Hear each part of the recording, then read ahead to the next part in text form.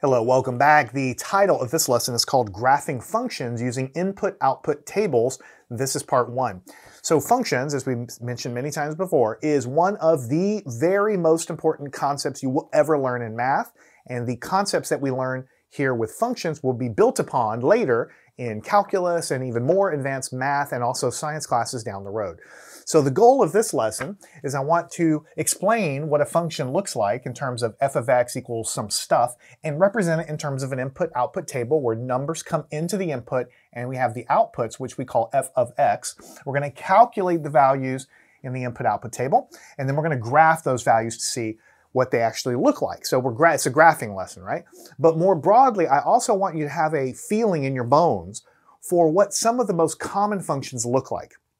So before we actually get to the actual graphing, I want to draw a few simple di different flavors of functions, the most common functions that you will run into throughout all of your studies. So here at the very beginning, you have in your mind what the most common kind of applications in real life for this concept of a function really is. So let's take a look at that right now. All right, so first, before we do anything, we have to re uh, remember or recall what this concept of a function really is.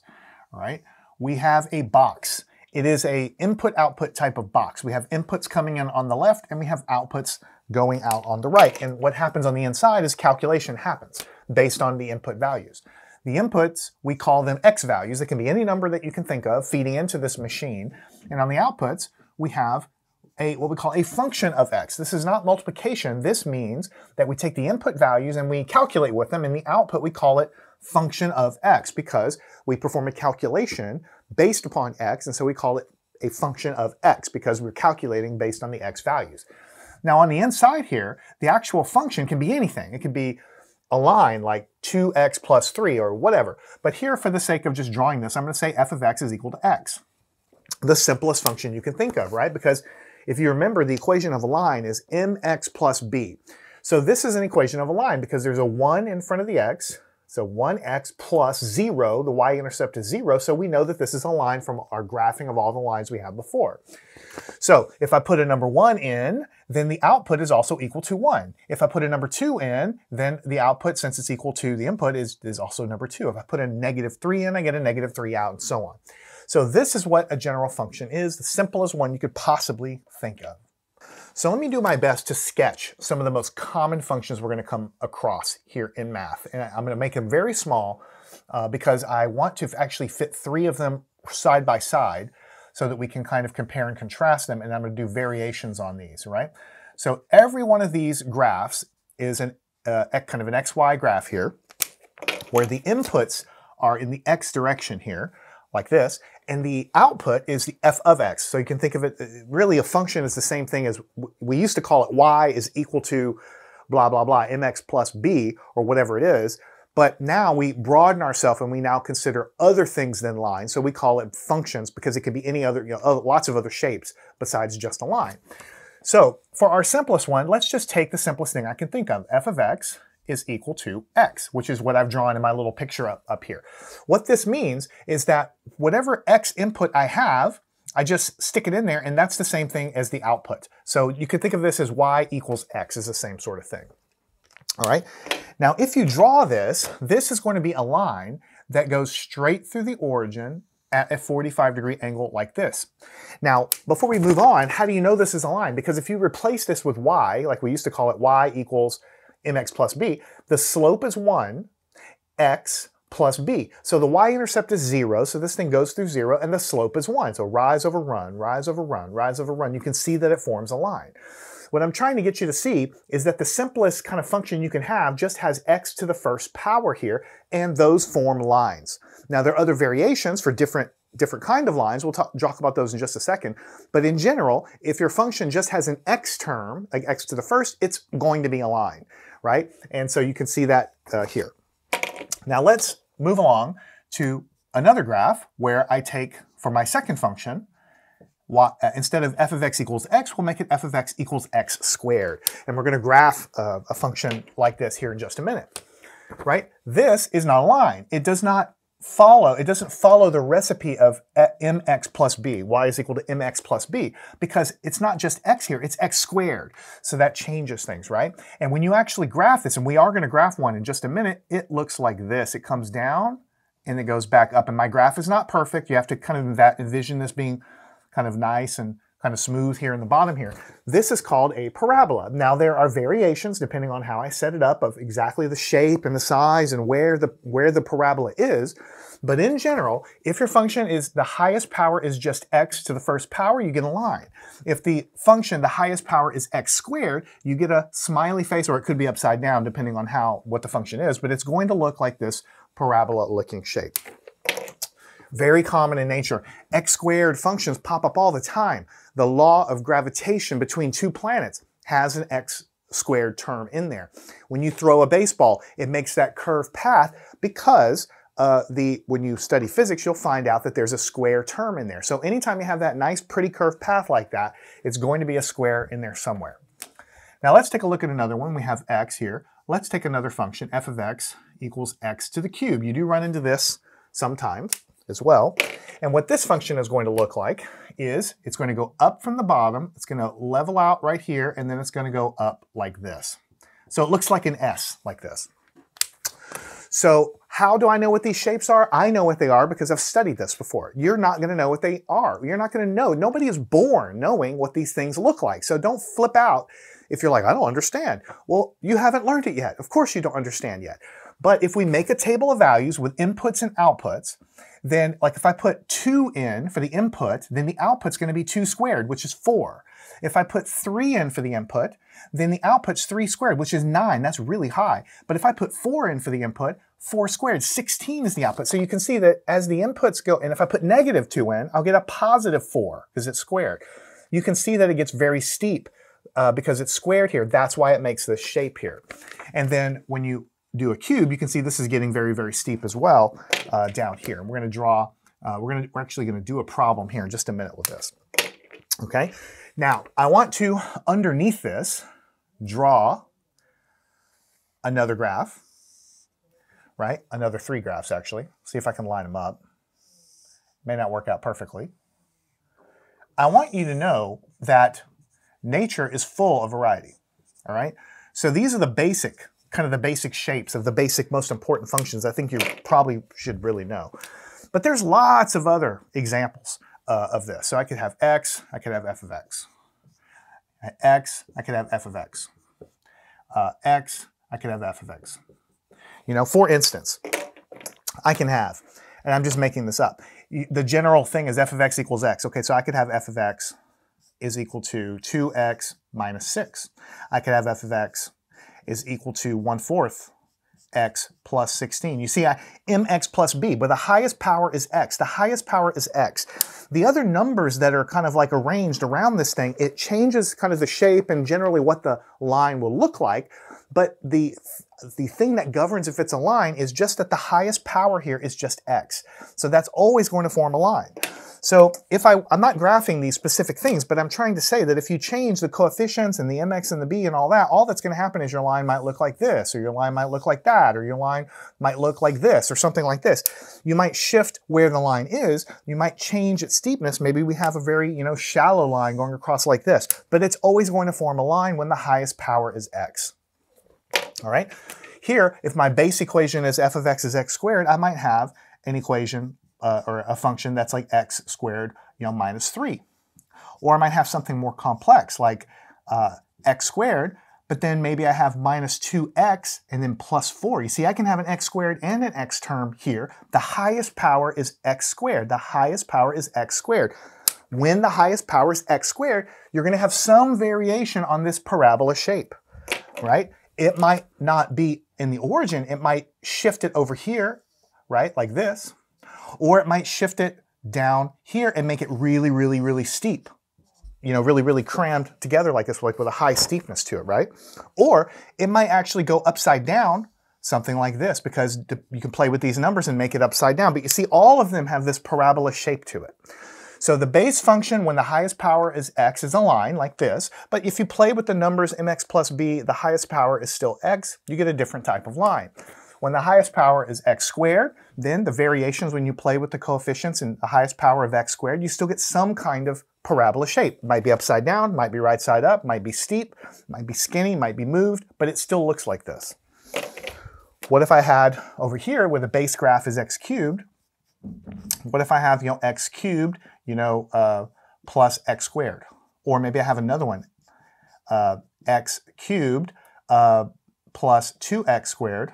Then you could have, you know, plus x minus 7. You see, I can string along different terms here. Uh, and of course, I messed up here, the highest power being x cubed here. But when the highest power in your function is x cubed, it's always going to look something like this, okay? Some sort of s. Now, instead of being on the origin, it might be over here, like this, by playing with these extra numbers here. Or it might go up and then it might curve way back down again and go up again. You see, I kind of like made the S more pronounced. Or it's going to be hard for me to draw it, but it could be upside down, flipped upside down, as I've flipped some of these other things upside down. So here in the beginning of the lesson, I mostly wanted to, before we actually do our problems, I want you to get the roadmap of the most common functions you will see. By far, the most common functions you'll see in real life are lines and parabolas with x squared terms. They pop up all the time, but we do see x cube equations as well. And you can see the basic kind of shape of these things here.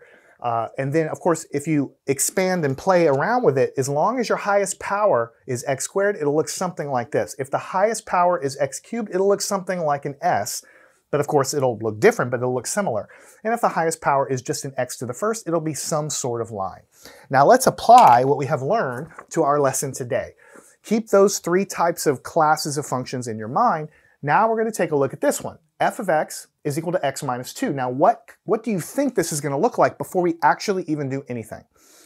This is going to be a line because the x power is to the first power. The x is to the first power. It doesn't matter the other numbers, the coefficients. If the highest power of x is to the first, it will be a line, mx plus b. Now we're going to graph that, but let's move along to this one just to, just, just to show you. What do you think this is going to look like? x squared minus 7 before you do anything the highest power is x squared. So it's going to look like some kind of parabola somewhere, right? And what about this third one? The highest power here, x cubed plus 1, is a cube. So this is going to look like some kind of s. I don't know where it'll be until I graph it, but I know it's going to look like something like that. So before you even do anything, you know what these things should look like based on the first part of the lesson here. Now, how do we actually graph it? When, when the rubber meets the road, what do we do? We have inputs, and we have outputs. Remember, the input number goes in, the calculation happens, the output comes out, we call it f of x. That's why f of x is in the output column, x is in the input column. If you take negative 4 and you stick it in here, then you'll have negative 4 minus 2. Negative 4 minus 2 is 6, so the output f of x is 6. Actually, negative 6. Negative 4 minus 2 is negative 6, so negative 6 goes there. If you put negative 2 in here, minus 2, Negative 2 minus 2 is negative 4. That goes in the output column. If you put a 0 in here, 0 minus 2 gives you an output of negative 2. If you put a 2 in here, 2 minus 2 gives you 0. If you put a 4 in here, 4 minus 2 gives you 2. Now you have your input-output table. Let's plot this stuff, and we should get some kind of line if we've done it correctly. So the first point here is at negative 4, comma, here's negative 5, here's negative 6, so there's the first point right there. Next point, negative 2 comma negative 4. Negative 2 comma negative 4 is right here. Next point, 0 comma negative 2 means right here. You can see this is forming a line. 2 comma 0, 2 comma 0 is right here. And then finally 4 comma 2, 4 comma 2 is right there. And you can see this definitely does form a nice line, but just to, just to dot the I's and cross the T's, we will draw a line through it just to make sure. So you see what I'm getting at. We said before, if the highest power in what it is you're studying is an x uh, to the first power, even if the numbers in front and the numbers off, the, the, the constants are different, it's just going to change where the line is and maybe the steepness, the slope of the line. You can see that's what we have here. The equation is f of x is x minus 2. And of course, we have a line that shifted down from the origin and it has some steepness to it, but it looks like a line, okay? Let's take a look at the next one. Here we know this is going to look like some kind of parabola. Let's see what this looks like. If we put negative 4 in here, you have to make sure to take the entire negative 4 and square it because the x value is the negative 4. You have to wrap it inside parentheses to make sure you square the negative 4. Now, negative 4 times negative 4 is 16, and 16 minus 7 is what? 9. So we have a 9 on the output right there. Next, if I put negative 1 in here, minus 7, this is going to give you a positive 1. And when you get 1 minus 7 is negative 6. You'll get a negative 6 right there. If a 0 you put in here, 0 squared minus 7, you're going to get a negative 7 because 0, this makes 0, and then you have negative 7 right here. And then a 1 you put in here, 1 squared minus 7 is 1 minus 7, which is negative 6. And then if you put a 4 in here, 4 squared minus 7, you're going to get 16 minus 7, which is going to give you a 9. So there you go. Notice that you have some symmetry here, right? Because you get the same output values and you have the same output values here as well. This is still a function because this output value goes with a different input and this output value goes with a different input. It's going to pass the vertical line test, but it's symmetrical because of the way the squaring works. When you square negative numbers, you get the same answers as when you square positive numbers, and that's basically what leads to that. So let's go ahead and graph it. Negative 4 comma negative 9. Negative 4 is here, and then negative, I can tilt my head here, negative 9 is right here. Something like this. negative 4 comma negative, sorry, ne negative 4 comma negative 9. I made a mistake. See, I make mistakes all the time. Negative 4 comma positive 9. So negative 4 is over here, and positive 9, that's a 10, so the 9 is right here. Negative 1 comma negative 6 is right here. And then 0 comma negative 7 is right here. And then 1 comma negative 6 is right here. And then 4 comma 9 is a 4, and then a positive 9 is up here. Now, how do you connect the dots? This does not look like a, let me just make sure I did that right. Yep. Uh, this does not look like a line. You can't put a line through here, and my my graph is not going to look perfect. So you know, don't don't uh, don't be too hard on me. But basically, it's going to come down like this. You're going to connect through these dots, and then it's going to go up and then through like this. So if you're going to graph this, it's going to look something like that, which is exactly what I said, a parabola. It's a nice skinny parabola, and it's shifted down like I told you would happen when you have a base function of an x squared, it's going to look like a parabola, but depending on what you have, uh, either in the constants or even if you insert other terms like this, it'll change the way it looks. It might be flipped upside down or whatever, but it's going to look like a parabola, which is exactly what we see here. All right, let's take a look at the next one. We see that, again, this is an x cubed, so we expect some kind of an s shape sort of deal. So if we put a negative 2 in here, negative 2 cubed plus 1. Here we have negative 2 times negative 2 times negative 2. You have to be careful about that. What you have right here is negative 2 times negative 2 times negative 2, and then you still have to add that 1 here. So what's going to happen here? This is going to give you a positive 4, right? But this positive 4 times negative 2, this is going to give you a negative 8, actually. So this negative 8 plus 1 is negative 7. Now if I put a negative 1 here, cubed, plus 1. It'll be negative 1 times negative 1, that's positive 1, but times a negative 1 again is negative 1. Negative 1 plus a positive 1 is 0, so I get a 0 right here. If I put a 0 in here, it'll be 0 cubed plus 1, which is going to give you 1. If I put a 1 in here, 1 cubed plus 1, this is 1 times 1 times 1, then you add the 1 there, you're just going to get 2.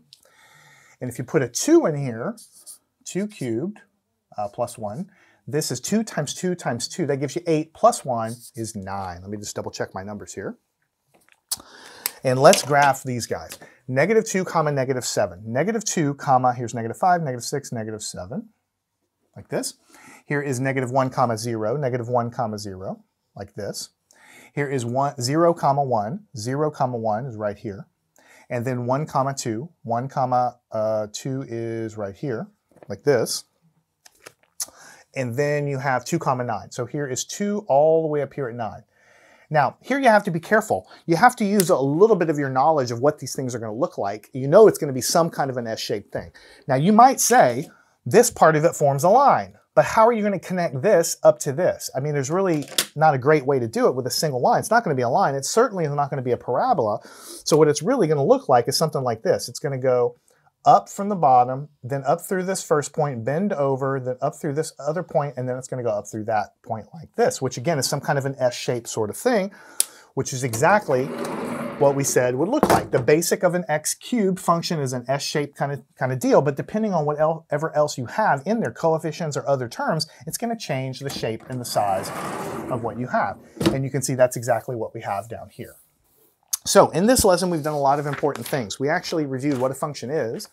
I talked about the most important shapes of functions, the x to the first power, the x to the second power, and the x to the third power. That's what I wish somebody had taught me a long time ago, that these things are always going to look kind of in a certain class, but depending on the exact equation you have, it might be slightly different shape, or maybe it's moved down or flipped upside down or something like that. And then we did the three examples to show you, in fact, one example of each of them so that you can see that what I'm saying is true. What I'd like you to do is practice these yourself. Follow me on to the next lesson. We'll get a little bit more practice with graphing functions using input-output tables.